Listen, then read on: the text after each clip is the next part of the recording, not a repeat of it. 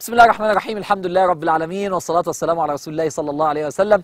أهلا بيكم رحلة للسعادة وبادئين المجموعة الأولى. إحنا قلنا براجع بس معاكم عشان تحفظوا عشان الموضوع عايز تركيز. قلنا رحلة للسعادة السعادة مش كلمة ومش حاجة واحدة تعملها. السعادة مجموعة من سبع حاجات. كملتهم تعيش سعيد. واحدة ناقصة عندك مشكلة. واحدة ناقصة في سبب من أسباب التعاسة بقى موجود في حياتك. لازم تكمل السبعة زي ما أنت عندك حواس خمسة. عينين ولسان وودان. لو حاجة ناقصة مش هتعرف تنبسط في الدنيا دي. أنا عندك مشكلة. كذلك السعادة. ما هياش كلمة واحدة. هي سبع مجموعات.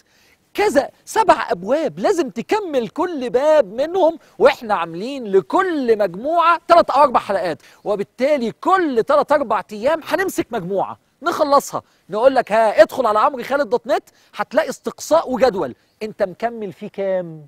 من المجموعة الأولى. جايب فيه صفر عندك مشكلة في التعاسة.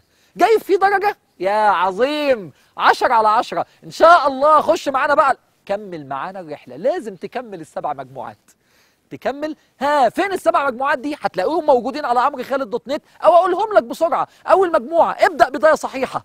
تاني مجموعة اسعد الناس تسعد. ورمزنا لها باللون الأخضر. ثالث مجموعة نفس نقية من معوقات السعادة من الحقد والحسد والغل والغضب.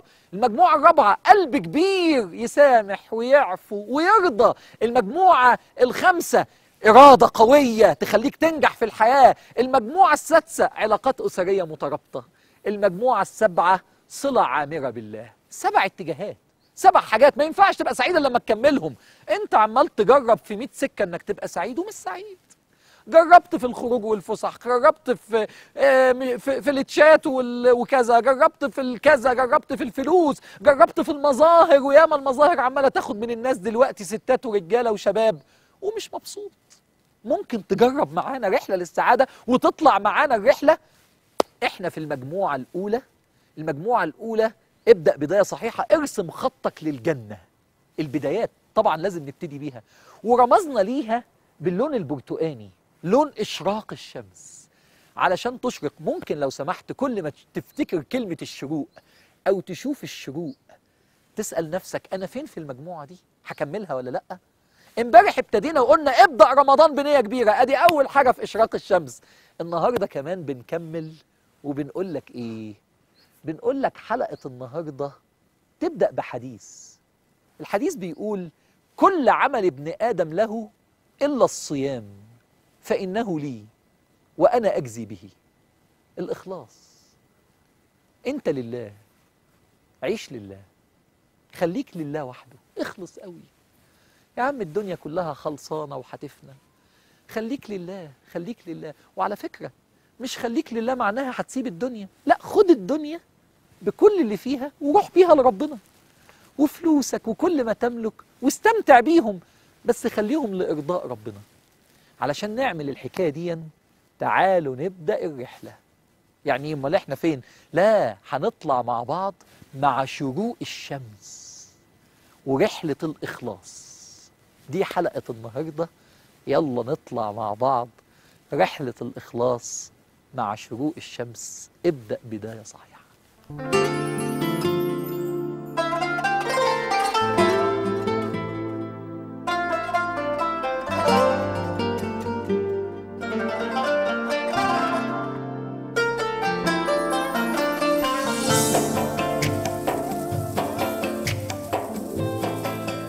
الله الرحمن الرحيم. الحمد لله رب العالمين. رحلة للسعادة.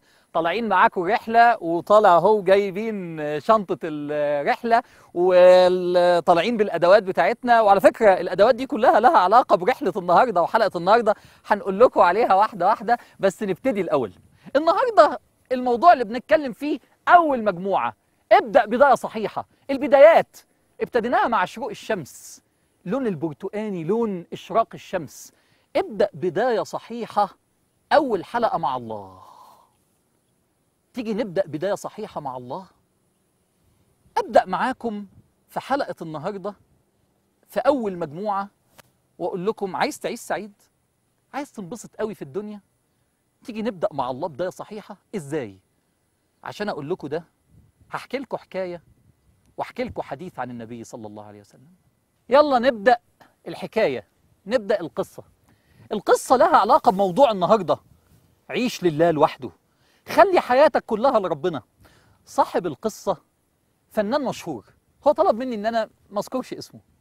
هو بيقول وأنا عندي 16 سنة كان كل حلمي في الحياة إن السعادة عبارة عن حاجتين. لو معاك تبقى سعيد. الشهرة والفلوس. بيقول كان مسيطر الحلم إمتى أبقى سعيد لما أجيب الاتنين؟ واشتغلت على نفسي. دخل الإذاعة. بقى مشهور جدا في الإذاعة. كل الناس بتستنى برامجه الصبح وتحب تسمع صوته كل يوم وهو بيتكلم. بدأ يتعرف لكن لسه مش سعيد. فقال عشان أنا مش مشهور كفاية. لسه ما اشتهرتش قوي. الناس ما شافتنيش. فقرر لازم أدخل التلفزيون. وبدأ بيعمل برامج توك شو في التلفزيون. وبدأت برامجه على كل لسان وصورته في كل حتة وكل الناس عارفاه.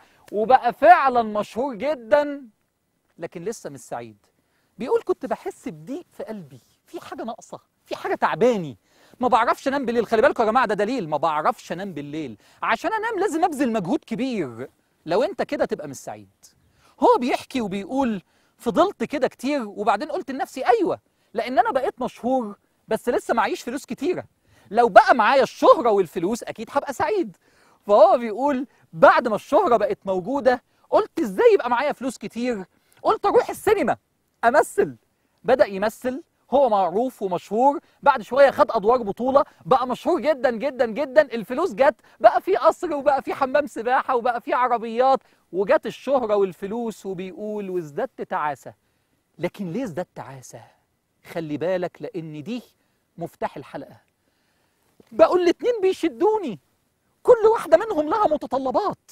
حسيت إن أنا زي البدلة اللي أنا لابسها عمالة تتشد من ناحيتين وبتتقطع كأن قلبي اللي بيتقطع. الشهرة عايزاني في حتة والفلوس عايزاني في حتة. قلت آه ما هو لسه طبعا ما أنا أنا اللي مش ذكي شهرة وفلوس ناقصها أهم حاجة ستات. فقرر إن لازم يبقى لي علاقات نسائية كتيرة جدا عشان أبقى سعيد. وبدأت علاقاته تكتر تكتر تكتر تكتر وازدادت التعاسة. لأن بدل ما كان اتنين بيشدوا بقى في ثلاث حاجات بتشد. الشهرة ولها متطلباتها والفلوس ولها متطلباتها والنساء ولها متطلباتها والشد بيزيد. قال آه ما هو لسه ناقص حاجة رابعة العلاقات الاجتماعية. لازم يبقى عندي علاقات قوية جدا ومظاهر وحفلات وسهر وغنى وعملها. وازدادت التعاسة لأن بقى في أربعة بيشدوا. بيحكي بيقول في يوم من الأيام صحفي عمل معايا حوار. قال لي الفنان فلان الفلاني أكيد أنت من أسعد الناس. فرد عليه قال له الحقيقة لأ. سعيد كلمة مكونة من أربع حروف. سين وعين ويه ودال. أنا معايا ثلاثة سين وعين ويه. أنا بسعى سعي. لكن الدال لسه ما جاتش. أوعدك لما أجيب الدال؟ هقول لك قال له ليه مش سعيد؟ قال له علشان في 100 حاجة بتشدني 100 حاجة بتتنازعني. بيحكي بيقول بعد ما خلصت الحكاية دي ليا ابن عم راجل متدين بس بعقل كده؟ راجل متدين متفتح. اتصل بيا قال لي عايز أقابلك. رحت قابلته. قام مطلع ورقة وقلم. قال لي اكتب لي الحاجات اللي بتشدك. إيه الحاجات اللي بتنازعك؟ قال له الفلوس والمظاهر والعيلة وقيمي. أنا عندي شوية قيم وأخلاق و- وال- والشهرة والستات و قال له أقول لك إن في آية في القرآن بتتكلم عليك بالظبط قال له آية عليا أنا؟ قال له آه بالظبط قال له إيه؟ قال له اسمع الآية دي. ضرب الله مثلا رجل فيه شركاء متشاكسون. واحد له عشر مديرين كل واحد بياخده في حتة عشر حاجات بتشده. رجل فيه شركاء متشاكسون. ورجلا سلما لرجل لواحد ملك واحد بس. هل يستويان مثلا؟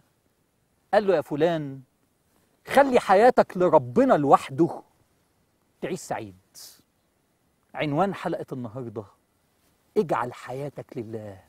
رد عليه وقال له بس أنا مش مستعد أسيب كل فلوسي وحاجتي عشان أروح لربنا لوحدي. قال له لا خدها معاك وروح له انجح أكتر وخد فلوس أكتر والبس أحلى بس بنية لله بنية إنك تحبب الناس في الله إنك تقدم عمل يهدي الناس بنية الإصلاح بنية الخير بنية إسعاد الآخرين نية زي نيتنا في البناء اعمل حاجة زي كده. بيقول فتحت مرة المصحف لقيت الآية بتقول قل إن صلاتي ونسكي ومحياي ومماتي لله رب العالمين. لا شريك له. اسمع الآية تاني. قل إن صلاتي بس مش الصلاة وبس اللي فيها إخلاص لله. مش هتخلص لله مش هتجعل حياتك لله في الصلاة وبس. ونسكي طريقتي في الحياة لبسي كل ما أملك. ومحياي ومماتي كلها لله رب العالمين. لا شريك له. أنا كل لله وحده. وبذلك أمرت. هو عايز مني كده. عيش لله. حلقة النهاردة عايزة تقول لك اخلص لله عيش لله وحده. دي الحكاية. أما حديث النبي صلى الله عليه وسلم مشعل ونور بينوره لك النبي صلى الله عليه وسلم. الحديث بيقول حديث حلو قوي كان بيفتتح به النبي الصلاة. بعد ما يقول الله أكبر وقبل ما يقرأ الفاتحة اسمع الحديث ده اكتبه عندك. ينور لك حياتك وتكبر بيه حياتك تخلص بيه عيش لله. اخلص لله. خلي أنا كل لله وكل ما أملك لله. زي صاحبنا دون. صاحبنا اتصل بالصحفي وقال له لقيت الدال. كملت السين والعين والياء ولقيت الدال. أنا بقالي سنة ما عادش حاجة بتشدني. أنا لربنا وخدت كل اللي معايا ورحت لربنا. اسمع حديث النبي صلى الله عليه وسلم. يقول النبي صلى الله عليه وسلم وهو بيفتتح في دعاء الصلاة اللهم أنت الملك. اكتبوا عندك. حديث رواه مسلم. اللهم أنت الملك. لا إله إلا أنت. أنت ربي وأنا عبدك. الخير كله بيديك والشر ليس إليك. اسمع الكلمة الأخيرة دي واكتبها قوي وحط تحتها خط. وأنا بك وإليك. بك حياتي بك قوتي بك نعمتي بك رزقي. أنا بك. وعلشان أنا بك فلازم أكون إليك إليك توجهي إليك إخلاصي إليك عملي إليك حياتي إليك قلبي إليك مماتي ومرجعي. أنا لك أنا بك وإليك. تعرف تعيش بالحديث ده وبالآية دي وتحطهم شعار ليك. قل إن صلاتي ونسكي ومحياي ومماتي لله رب العالمين.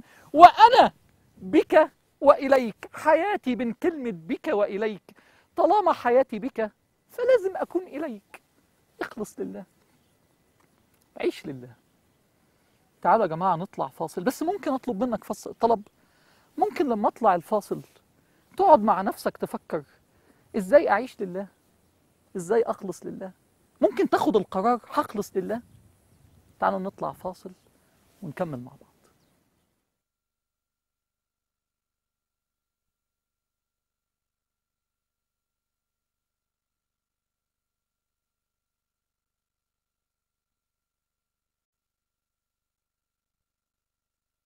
تخلص حياتك لله تعيش لله تخلي كل ما تملك لله. أنا عارف أنت هتقول لي طب إزاي دي تتعمل؟ قرار. قرار يعني قرار تاخده بدماغك. حياتك هي هي. أنا ما بقولكش تغير أي حاجة في حياتك. كل اللي هتعمله إن أنت هتغير البوصلة جوه دماغك. يعني إيه؟ نية هتعدلها. أنت معاك فلوسك. فلوسك ولبسك وشغلك وكل ما تملك يكون لله. طب إزاي؟ هتاخد قرار بدماغك. الفلوس دي ليه؟ كانت الأول ليا أنا واولادي هي هي وهتفضل تجا وبالعكس وتجيب فلوس أكتر. بس يا رب الفلوس دي هأكل بيها غلابة وهعلم بيها ناس وهصلح بيها في بلدي وهصلح بيها في مجتمعي. هستخدمها إنها بتاعتك أنت. في كل اللي يصلح. ولادي دول هنويهم لله. هم هم. وهتفضل تربي زي ما انت وهتفضل تاخد بالك تاخدي بالك من الولاد زي ما هم. بس حاجة هتحصل في الدماغ قرار. أنا ما بطلبش منك أي تعديل. قرار في دماغك. الولاد دول كل تربية. أنا عايز أطلع نبتة صغيرة تعبدك يا رب. والولاد دول هم اللي هيصلحوا حال المسلمين وحال بلادنا. والولاد دول أنا ناويهم لنهضة بلادنا. والولاد دول نذرهم في بطني. الست تقول نذرهم في بطني علشان يعملوا حاجة لربنا كويسة. وهيطلعوا صالحين مصلحين. بقى كل دقيقة في تربية ولادك مخلصة لله. وبقى كل تعب وكل غسيل وكل مكوى وكل تمرين كورة وكل وكل وكل. بقى لله. تخيل كمية الثواب. هو هو. أنا ما بطلبش منك حاجة زيادة. ممكن تجرب. مش عايز تعيش سعيد. تعرف تخلي كل حاجة رايحة لربنا وتخلي دي بدايتك مع ربنا. خلي بالك أي عادة بتتغير في 21 يوم. العلماء بيقولك كده 21 يوم تقدر تغير عادة. إحنا في رمضان. تيجي تخلص لله ال 21 يوم اللي جايين أنا ليك يا رب. أنا ملكك. كل ما أملك. ها؟ فلوسك ولادك علمك. العلم ده الشهادات اللي انت خدتها. الشهادات دي يا رب أنا هوجه العلم دون لخدمة الناس. مش عشان أبقى الدكتور فلان لا لا لا لا. بقت لله. هصلح لك في أرضك وهستخدم العلم ده في هداية الناس. بقى كل دقيقة علم ومذاكرة ومسكة قلم. بقت ثواب. يا أولاد يا بنات يا اللي في الامتحانات. انوي العلم إن أنا هقدم حاجة لبلدي للإسلام للمسلمين مش عشان أنجح وآخد شهادة. بقيت لله. تخيل الإخلاص. أنت شايف سهل قد إيه؟ بس بقى كل ما تزود كل حاجة كل حاجة يقول لك ما خطى عمر بن عبد العزيز خطوة إلا وله فيها نية. يا كل خطوة كبيرة قوي. بس ابدأ شوف أنت أقوى حاجة عندك إيه؟ طب انوي حاجة واحدة. يعني أم السيدة مريم قالت رب إني نظرت لك ما في بطني محررا محرر من كل الدنيا ليك لوحدك. طب اختار حاجة وخليها لله. شغلي ولادي بص أنا أنا عايز أقرب لك الفكرة كويس. أنت ممتلكاتك إيه؟ ممتلكاتك كتير. يعني ايا كانت ممتلكاتك تيجي نتخيل الفكرة دي. تيجي تيجي نفكر إزاي نخلص لله وتشوف إن هي هي. تعال نتخيل مع بعض. أنا طالع الرحلة معاكم زي ما بقول لكم. شا- شايفين الشنطة دي؟ الشنطة دي تعالوا نتخيل إن فيها كل ممتلكات حياتك. مثلا يعني كل ما تمتلكه في الشنطة دي. تعال أفرجك كده الشنطة دي فيها إيه؟ الشنطة دي أنا تخيلت تخيلت إن واحد حط كل ممتلكات حياته في الشنطة دي. هنطلع هنطلع من إيه؟ آدي الفلوس. ريالات ومش عارف وإيه؟ وآدي صيغة الست. كل صيغتها وكل ما تمتلك. جايبين لكم حاجات مش بتاعتنا يعني بس حاجات حاجات كويسة. وآدي يا سيدي كل ما يمتلك. بص معاه إيه؟ آدي كشف حساب البنك. وأدي شهادة الولاد شهادة الميلاد. وأدي شهادات التخرج دبلومات جامدة قوي وشهادات ميلاد. شهادة الولادة بتاعت ولادي أهي. وأدي يا سيدي ده تمليك البيت البيت اللي هو ساكن فيه. أطلع لك إيه كمان؟ وأدي الباسبور وأدي الموبايل وأدي سجادة صلاة. تخيل إن كل ما تملك كل ما تملك في الشنطة دي تيجي نخليها لله. يعني تيجي تاخد الشنطة دي باللي فيها وتقول يا رب من النهارده كل ما أملك عشانك. طب والبيت؟ البيت عشانك. إزاي؟ أنا حنوي كل صغيرة وكبيرة في بيتي دون إن أخليه قبله تجمع المؤمنين. إن أنا هعمل عمل خيري من بيتي دون. بيتي دون هيبقى دفء وعبادة لربنا وطاعة لربنا. هنبقى أسرة بتعبد ربنا. تيجي تخلي كل حاجة في حياتك لله. الإخلاص أن تقصد بقولك وعملك وما تملك وجه الله وحده. الإخلاص أن تولي وجهك لله وأن تجعل جهتك في الحياة هي الله. التوجه يا جماعة عشان ليه الإخلاص أول حلقة أول رحلة الطيارة اتجاه. أول رحلة السفينة اتجاه. أول المسير أول رحلة السعادة. وجهت وجهي للذي فطر السماوات والأرض حنيفا. وجهت وجهي واحد بيقول للنبي يا رسول الله أي الإسلام خير؟ قال أن تسلم قلبك وتوجه وجهك لله وحده. ومن أحسن دينا مين أحسن واحد دينا؟ ممن أسلم وجهه لله.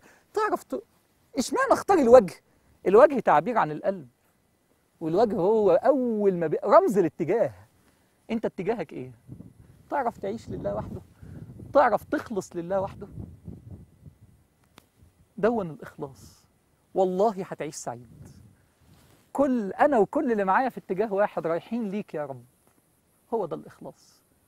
جرب في رمضان اجعل حياتك لله وحده. تسعد وتعيش سعيد. انت عارف انت لو أخلصت لله وخليت كل حياتك وكل ما تملك لله يعمل معاك إيه؟ يحفظك وينجيك ويعليك ويرفعك. انت مش واخد بالك؟ شوف كده الآيات دي بص بيقول لسيدنا يوسف إيه؟ اللي نجى سيدنا يوسف من الفاحشة الإخلاص. ولقد همت به وهم بها. لولا أن رأى برهان ربه كذلك لنصرف عنه السوء والفحشاء. إنه من عبادنا المخلصين. اللي رفع شفت؟ إنه من عبادنا المخلصين. اللي رفع سيدنا موسى عند ربنا منزلة عالية جدا. واذكر في الكتاب موسى إنه كان مخلصا أصله كان مخلص. علشان كده بقى كليم الله وارتفع المنزلة العالية. الشيطان بيقول إنه يقدر على الناس كلها. قال فبعزتك لأغوينهم أجمعين إلا عبادك منهم المخلصين. اللي واهبين حياتهم اللي بيقولوا حياتي كلها لله ما أقدرش أعمل لهم حاجة. إلا هو عارف إلا عبادك منهم المخلصين. تلت القرآن سورة الإخلاص مش كده؟ قل هو الله أحد يعني إيه قل هو الله أحد؟ ما حشرك مع حد ولا حد زيي ولا أعطي لغيره ما اعطيه الله الله تعرف تعرف تخلي كل حياتك لله من النهارده؟ تيجي ننوي؟ تيجي نسكت ربع ثانية كده ربع دقيقة تفكر كده؟ ها كل ما تملك فاكر الشنطة اللي أنا كنت ماسكها؟ كل ما تملك تيجي نخليه لله؟ مش قادر؟ كل خطوة زي عمر بن عبد العزيز كل خطوة لله. طب مش قادر؟ طب اختار حاجة كبيرة في حياتك وقول دي لله. خد القرار دلوقتي. والله يجرب السعادة اللي هتحصل لك. أقول لك هتبقى سعيد ليه؟ هتبقى سعيد عشان حاجات كتيرة قوي. هتبقى سعيد علشان ربنا وعدك. لو أخلصت يسعدك. تصدق وعد ربنا؟ بص الآية وعد من ربنا. بص الآية بتقول لك إيه؟ وما لأحد عنده من نعمة تجزى إلا ابتغاء وجه ربه الأعلى. ما بيديش الناس علشان منظرة ولا إلا ابتغاء وجه ربه الأعلى ولا سوف يرضى. سامع ولا سوف؟ حط تحتها 100 خط. والله هيرضيك. والله يسعدك. شفت؟ عايز تبقى سعيد؟ ممكن. مش انت جربت حاجات كتير؟ ممكن تجرب تروح لربنا بكل كيانك النهارده؟ طب أقول لك على حاجة تانية. ليه هتبقى سعيد؟ صدق إن الإخلاص راحة. الزوجة. الست. إيه أكتر كلمة بتسعد الزوجة؟ لما جوزها يقول لها انت زوجة مخلصة. مش كده؟ مش دي من أغلى الكلمات على المرأة تقول أنا مخلصة لجوزي. والراجل يقول أنا مخلص لعملي. ولما يقف رئيس الشركة يقول أنا بشهد إن فلان مخلص في شغله.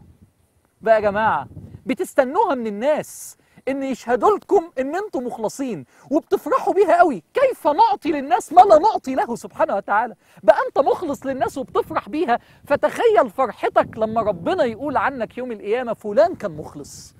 تيجي نخلص لله؟ خلي بالك كمية الثواب اللي هتاخدها أنا مش بطلب منك تغير حياتك يا أخي.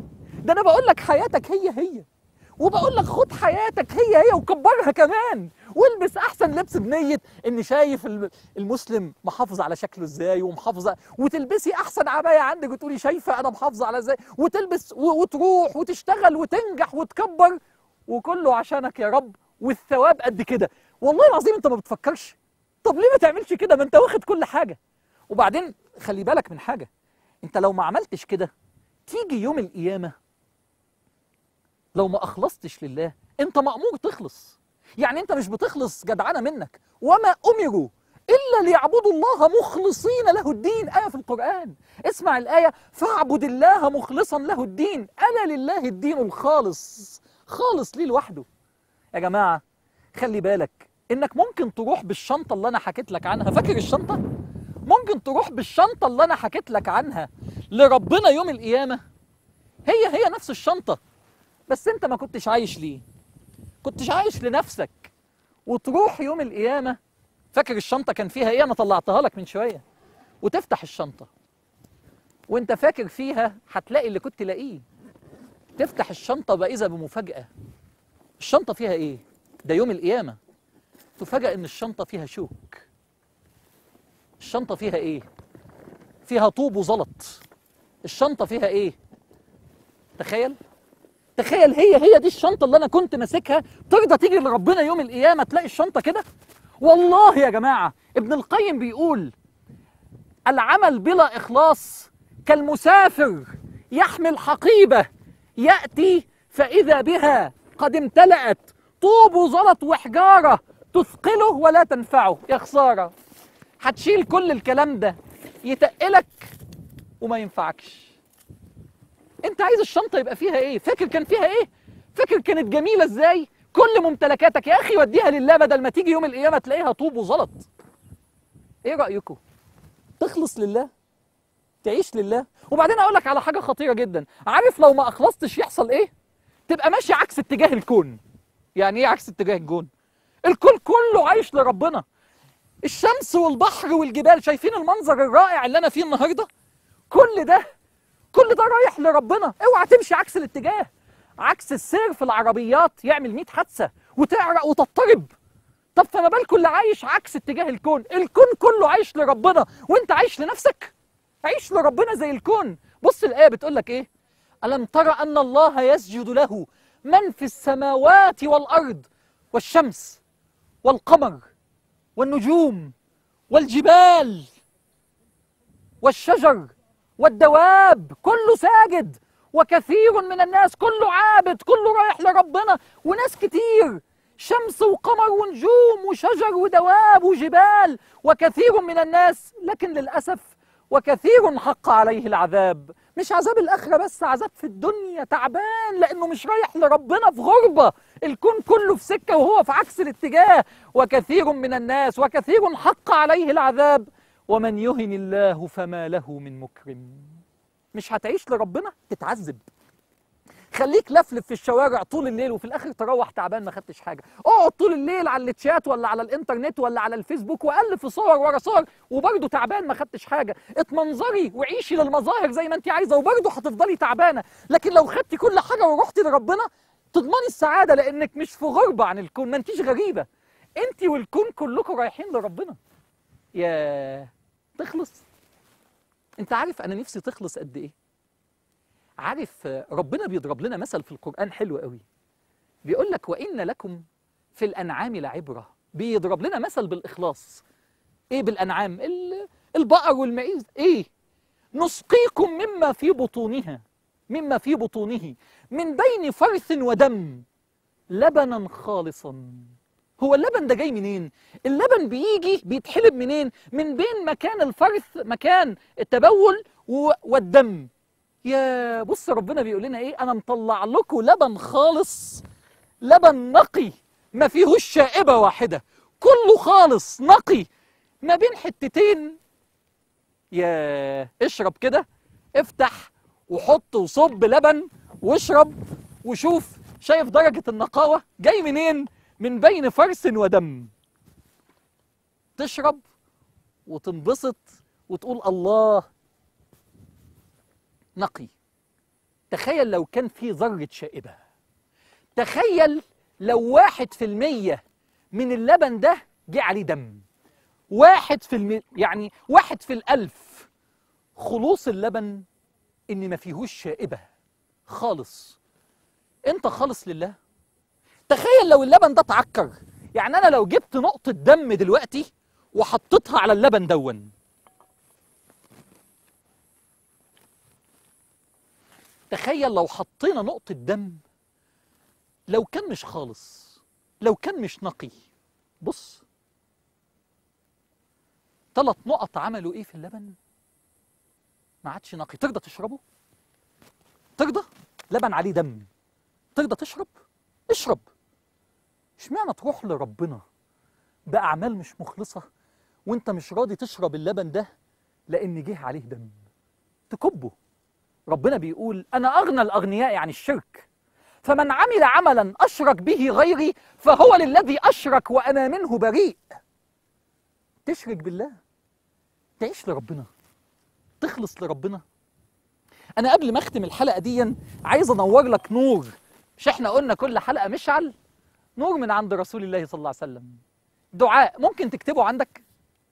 وتتخيل كده الشعلة إنك هتعيش بالنور دون. اكتب الدعاء ده. اللهم إني أسألك حبك. دعاء كله إخلاص. أسألك حبك. وحب من أحبك. عايز أحبك وعايز أحب اللي بيحبك. وحب عمل يقربني لحبك. وعايز أحب كل الأعمال اللي تخليني بحبك. ده إخلاص. ده أنا عايز كل حاجة ليك. أسألك حبك وحب من أحبك وحب عمل يقربني لحبك. وبعدين يقول إيه؟ شوف بقية الدعاء. اللهم ما رزقتني مما أحب. لو اديتني حاجة بحبها فلوس ولا عيال فاجعله قوة لي فيما تحب. المفروض فاجعله قوة لي يعني خليني أستخدمها في حاجة أنا بحبها. لا فاجعله قوة لي فيما تحب أنت يا رب. لو اديتني حاجة بحبها فلوس ولا عيال ولا قوة ولا عضلات خليني أستخدمها في حاجة أنت بحبها. أنت بتحبها. بنت شكلها جميل ابتسامتها حلوة خليني أحبب بيها الناس فيك يا رب وأحببهم في ربنا. شاب قوي خليني أستخدم قوتي دون في خدمة الغلابة والمساكين. اللهم ما رزقتني مما أحب فاجعله قوة لي فيما تحب. وبعدين يقول إيه؟ اللهم ما أخذت مني مما أحب. كان نفسي يبقى عندي عيال أو شركة كبيرة ما اديتهاليش. فاجعله فراغا لي خلي الوقت اللي فضي ده فراغا لي فيما تحب أنت برضه. لو اديتني حاجة بحبها خليني أستخدمها في حاجة أنت بتحبها. ولو خدت مني حاجة أنا بحبها خليني أستخدم الوقت ده في حاجة أنت بتحبها. أسألك حبك. احفظ معايا بقى قول ورايا. أسألك حبك. وحب من أحبك. وحب عمل يقربني لحبك. اللهم ما رزقتني مما أحب فاجعله قوة لي فيما تحب. اللهم ما أخذت مني مما أحب فاجعله فراغا لي. الوقت اللي فضي دي خليني أستخدمه في حاجة أنت بتحبها. أنت مخلص لله. أختم معاك وصفة الإخلاص. إزاي أبقى مخلص؟ ثلاث أربع حاجات احفظهم مني. واحد ادعي كل يوم بالإخلاص. كل يوم. يعني من النهارده لغاية نهاية رمضان كل سجدة. يا رب ارزقني الإخلاص. يا رب ارزقني الإخلاص. الدعاء بيثبت الفكرة في الدماغ. ده واحد. اتنين خلي عمل دايما في السر بينك وبين ربنا. في أعمال في الظاهر لكن خلي عمل بينك وبين ربنا. أنا وربنا. عمل كده في السر. في أعمال تانية لازم تعلنها. أمال الناس تتعلم الخير إزاي؟ لكن في عمل كده ويبقى عمل خاص جدا. أنا وربنا صدقة معينة مساعدة غلبان مع... دي طريقة تانية. حاجة تالتة. عايز عايز تبقى مخلص؟ علق ورقة. اكتب عليها الأحاديث اللي إحنا قلناها النهارده. وهتلاقينا محطينها لك على النت على عمرو خالد دوت نت تاخدها وتحطها. إيه وأنا بك وإليك. قل إن صلاتي ونسكي ومحياي ومماتي لله رب العالمين. اللهم إني أسألك حبك. علق حاجة زي كده في حتة واضحة في البيت عشان كل ما تشوفها تفتكر الإخلاص. وصفة رابعة. عايز تبقى مخلص؟ قبل ما تخرج من بيتكم كل يوم الصبح. انوي الإخلاص. أعرف بنت حكيت لها القصة دي. بنت متزوجة في بريطانيا في إنجلترا. بتقول علقت أنا وجوزي على باب البيت من بره نيتي النهارده كذا. كل يوم تكتب نية وتقوم حطها على باب البيت علشان كل ما تخرج من البيت قبل ما تخرج انوي. يبقى كل خروجتك لله. ده الإخلاص. يا رب أكون وصلت لكم المعنى. والله جرب وهتعيش سعيد. أول ما نقفل الحلقة اكتب كل ما تملك واقعد فكر مع نفسك. تخليه لربنا؟ وجرب لغاية آخر رمضان وشوف الحلاوة حلاوة البداية. نور إشراق الشمس. هتدخلوا على عمرو خالد دوت نت النهارده؟ هتلاقونا حط... هتلاقوا إن إحنا سايبين لكم شوية حاجات كتيرة. الحلقة كاملة من غير فواصل هتلاقونا سايبين لكم على عمرو خالد دوت نت. حاجات إضافية من الحلقة. هدخل معاكم النهارده بالليل. أقعد أتناقش معاكم طول الليل حوالين السعادة حوالين مشاكل الشباب. أي شاب عنده مشكلة تدخل معايا النهارده وهتلاقونا طول الليل معاكم على عمرو خالد دوت نت. نشتغل مع بعض. مش كده وبس. حاجة أخيرة هتلاقوا ورش عمل. إزاي نشيل ونعمل أكبر موقع عن رسول الله صلى الله عليه وسلم بشكل حديث نوجهه للعالم تخشوا وهنعمل ورش عمل ونشتغل طول الليل ونستفيد من الأجازة. ده هيبقى شغلنا مع بعض إن شاء الله. اخلص حياتك لله كانت حلقة النهارده. اشوفكم على النت بالليل إن شاء الله واشوفكم بكرة إن شاء الله. والسلام عليكم ورحمة الله وبركاته.